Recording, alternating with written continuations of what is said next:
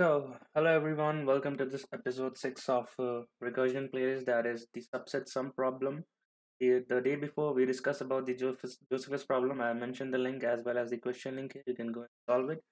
So, let's proceed with this today's problem that is subset sum problem. So, let me give you mm, the test cases that how it is that how it is working.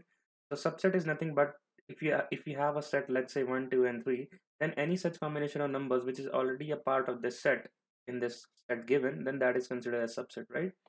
So for this particular set 1 2 3 subsets will be the empty set the 1 the, and 3 and then again the combination of two numbers now that 1 2 1 3 and 2 3 and again the combination of three numbers that is 1 2 right? So this is the thing. So for uh for so for a given Uh, numbers and the possible subsets form is 2 power n right? And if you count is like 2 power 3 is 8 so if you count the first column first row is saying that there are four subsets 4 plus 3 8 4 plus 3 7 and this last one as 8 right? Okay. So what we need to do is that in the input test case you are given these numbers like 10 5 2 3 and 6 you need to tell the count of the subset which has the sum as this given sum equals 8 right? So you can clearly see that there are only two possible subsets that is 2 comma 6 and 5 comma 3 that will sum up to 8 similarly for the second test case let's say you have the elements 10 20 and 15 and the required sum to make is 25 so there is only one subset that is 10 comma 15 which will sum up to 25 right? So how should we proceed on this problem? So pause the video here and think of a recursive solution that how, how we will do so so I have drawn the recursion tree for you guys and this problem is exactly similar to the problem where we we discussed how to generate the subsets in lecture 4 right? So must visit that lecture. And the same recursive tree I have drawn here that is the intuition is that either to take an element that either to take or not take right? This is this is where we found the all the subsets at the last level right? So how this recursion is going is that we are calling a function that is taking that is not taking the element that is not considering and in the next step it is considering right? And we are starting from this pointer from the last pointer. So the first step it would be that it, it is not considering right? And then it goes in this direction of not considering right? If you if i just write the pseudo code for you it will be like let's say you will have a count subset function which will input the input array. It will take int n as parameter right and we'll just have to call the function of let's say count s. I'm just calling it for array of n minus 1 right? And then i'm calling of array of n minus 1 so here i'm not taking anything so the sum will be as it is but here i'm considering so i will just say sum is equals to array of n minus 1 right? How this is working is the first call is is for uh, not taking the element so i'll just write nt and this is for to take the element. So it opens the left branch taking uh, not considering the element then it goes further for not considering and going goes further right? So this is the last level. This is the level level where the elements exhaust right? This was the level for n equals to 3 for n equals to 2 then n equals to 1 n equals to 0 after this n equals to 0 you do not have such uh, what? Elements. So clearly the base cases will be like if n equals equals to 0 you have to do something. You have to return. You have to return. That you have to stop it here right then the, the call goes back to parent that is 2 and it consider the element at the zeroth index. And if you recall the elements were 10 the elements were 10 20 and 15 so at for n equals to 0 it considered the 10 element right? It, it again callbacks to its parent that is here and it consider the n we are at n equals to 1 level so it consider this first the the one the first index element that is 20 and then for the left call it does not take the element. In the right call it again take the element for n equals to 0 that is 20 comma 10 right? Similarly the parent the parent callback will come for this at root root node. And it is saying that i'm considering the element. But this level is what? For n equals to 3 because we are passing the parameters as n. And we are reducing by n minus 1 in each recursive call. So it takes the element for n equals to n equals to 3 that is the index that is the second index that is the last element that is here. It takes the 15 then the left call it will again go for that. I'm not taking any other element so it will be again 15 right? And it will again go here it will be 15 right? And then it will just uh, take the n equals to 0 at 15 comma 10 and again the call by call will be back to its parent that, that is 15 and will call the right hand child that the right that right recursive tree is coming from this. So for n equals to 1 the element is again 20 so it will consider 15 comma 20 in the left recursive call it is again not considering any more elements of 15 comma 20 and in the right recursive call it is considering the n equals to 0th element. So if you clearly observe that when I, when when we are at this last element uh, last level the all the subsets all the possible subsets of this uh, uh, 15 10 15 and 20 are there right? So we have to do some we have to check it here that if the sum if the sum of each subset if it is equals to the our given sum then you have to consider that subset right? So clearly the uh, base cases will be for if n equals to 0 right? But instead of calculating sum for each and every subset and rather in increasing a complexity by o of n extra because we will be using a linear traversal to calculate the sum we uh, we uh, passed one more parameters that is sum right? So initially the sum when we are at this root node it is 25 right so whenever whenever we are considering the element when we are not considering we are just passing this sum again. But whenever we are considering the elements we are passing we are updating the sum as sum minus the the elements which we have taken right? So so i guess uh, pause this video again here and update this recursive tree with the sum values and we will continue again. So if we have done it then it's very good. Otherwise we'll do it live here. So since you have not considered the element the sum will be passed again as 25 similarly not consider the sum will be 25 again and here also it will be 25 again. But when we do the right recursive call with that you took an element 10 right? So it will be updated as 25 minus 10 that is 15 the sum is updated to 15 now. Now when you are this parent call this parent call the sum was 25 and you have considered the element 20 so the sum will be updated to 5 similarly for the left call you have not taken any more elements so it will be 5 again. But in the right call you have taken one more element that is 10 right? So the sum will be updated as 5 minus 10 that is minus 5 right? And what it is depicting? It is depicting that you have considered a bunch of elements and the current sum is there present there. Hmm.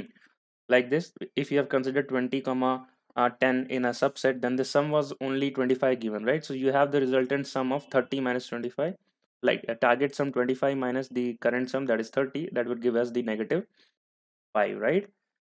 Okay. So again the sum is 25 here if you if you go at the right uh, uh, recursion tree. So you have considered the element 15 the sum will is updated at 25 minus 15 that is 10 and it will remain 10 here. It will remain 10 here because you are not taking any more elements in the left recursive call so when you go for 15 right you have taken one more element that is 20 right? So it will be updated as 10 minus 20 that is minus 10 right?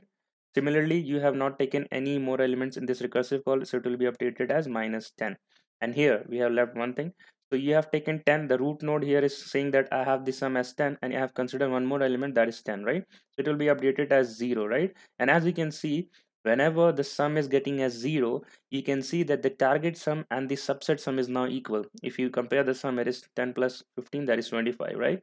And that is what we want.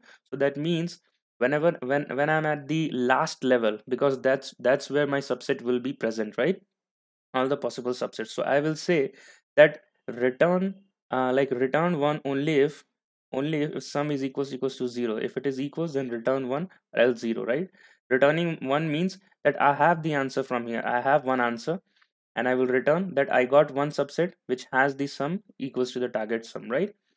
Again for this thing uh, let's update all the sum values again. So it is minus 10 and here 15 uh, the sum is the sum is what? Uh, let me let me the, the sum is minus 10 and again you have taken one more element that is 10 so it will be minus 20 here. For this call it will be minus 20 so there is no other subsets in this last n equals to 0 which is returning which is returning 1 right? So there is only one possibility that is this one which has the subset sum as 25 so how should we write the code right? So how the value should be returned now? How the value should be returned? So uh, this uh, has if n equals equals to 0 the sum should be 0 right? But you can see the sum is 25 here. So it will return 0 and this will also return 0 similarly this will also return 0 this will return 0 this will return 0 and this will return 1 similarly this will return 0 and this also will return 0 right? Now i want to maintain the count like the all the number of subsets which was contributing in my answer. So what i will do i will just do plus here right I want all the subsets from both the branches where my answer is getting, right? Where my answer is reaching. So I return the both the recursive call with the addition thing. So in the next level, since the both these things are returning uh, what? Zero. So the parent call will return 0 plus 0, that is 0. Here also the parent call will return 0 plus, uh, 0 plus 0, that is 0. And again, this will return 0 plus 1, that is 1, right? But in this call, it will return 0 plus 0, that is 0, right? And again, this will continue on and it will return, it will return 0, it will return again 1, and finally it will return 1. So this is our answer, right? So that's a pseudocode and I, I showed you how the recursion tree is working. So let us code this solution. Let us try and code this solution that how the things are. Okay, so that's the pseudocode here. So let's try run for this same test case that is 10, 20 and 15 and let's see it. So I'll open my Eclipse editor. So I'll explain you the code what I have written. So in Java, we use the scanner class to get input from the user. So I have taken input of n that is the number of elements in the array and then I have used this for loop to input the elements in our array and then the sum that what's the target sum you want to make right and then you just have to call the function and print its returning value. So what's what I was writing in the base case that if n equals to, to 0 that means the all the subsets were present at this level. That's why we are writing the base case here right right? And if the sum is equals to 0 that means that you have achieved the sum of the possible subset as the target sum. So if it is 0, then return 1 that yes, I have the answer from here, else 0, I don't have the answer, right? And you just have to, uh, what, uh, recur this function two times. That is, you are take, not taking the element, that is why the sum is passed as it is. And if you're taking the elements, you have to subtract the sum from there, right? So this is not take plus take uh, order. And and since we want all the possibilities that all the possible subsets that having sum equals to the target sum, that is why using the addition here, right? So let us run this program. So we have run we have run the program. So okay.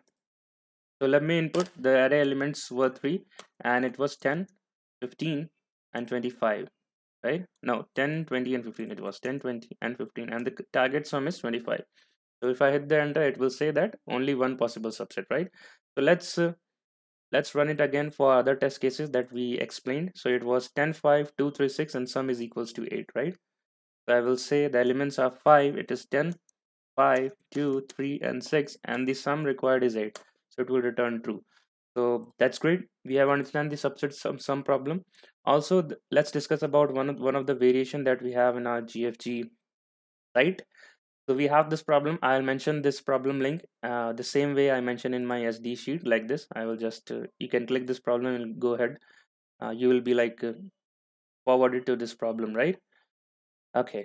So what this uh, question says is that uh, given an array of non-negative integers and values sum, determine if there's a subset given that with the sum equal to given sum, right?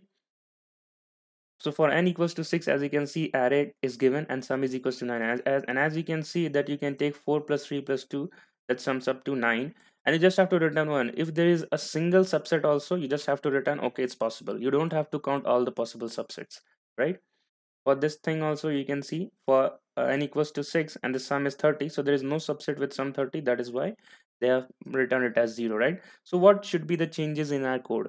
we will call the same function with array and and, and, and sum and we will do the same recursion that we take the element and we do not take the element but what is here happening is you have to not consider the case of returning all the possibilities you just have to return if there is a single possibility also right then you have to return true so what i will do i will i will maintain a xor operation here right xor operation so instead of instead of uh, returning this thing that instead of returning sum it will return the XOR. So 0 XOR 1, it will be 1, right? It will be 1. And in all the cases, it will be 1. So suppose it, it would have been 1, 1 here and 1 here also, both in both cases. So if I do the plus sign, then it will return 2, right? But I just want to say that if there is a subset possible or not, right? So that is why I'm returning the left call with the right call of or operation. So I will say 1 or 1, 1 or 1. Uh, let me write it clearly for you it will be 1 or 1 and it will return 1 right so that is why we are using the OR operation and not the addition operation here let's back to the question again and we'll run the code and we'll see for ourselves and the base case remains the same that at the last level only we are forming all the possible subsets. So if the sum is 0 return true else false. So let's compile and run for this test case.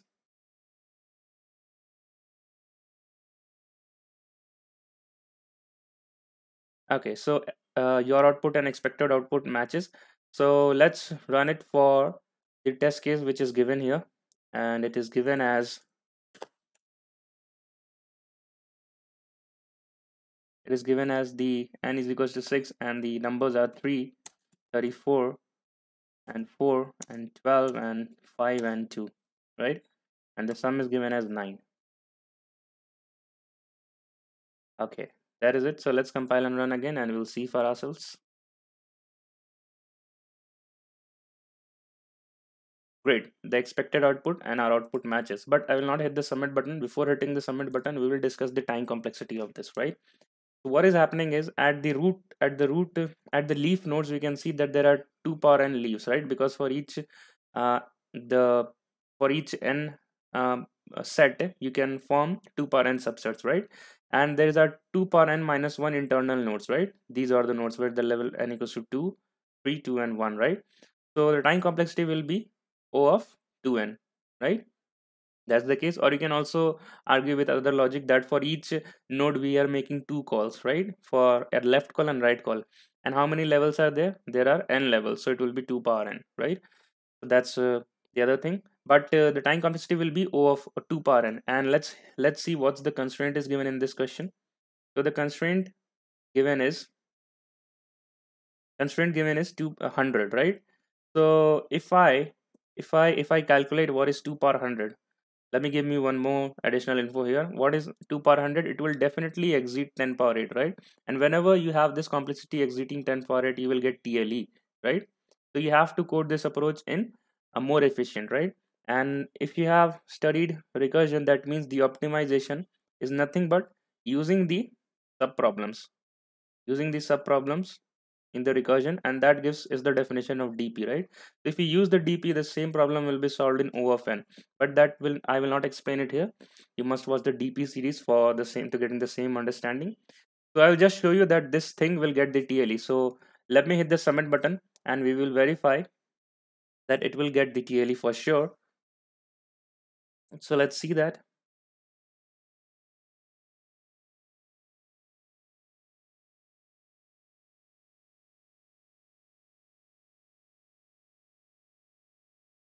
So as you can see, there are only two test cases passed, right? So we have to optimize this code and the optimization is done by DP. We will look that look that thing in the DP section because this is about all about recursion.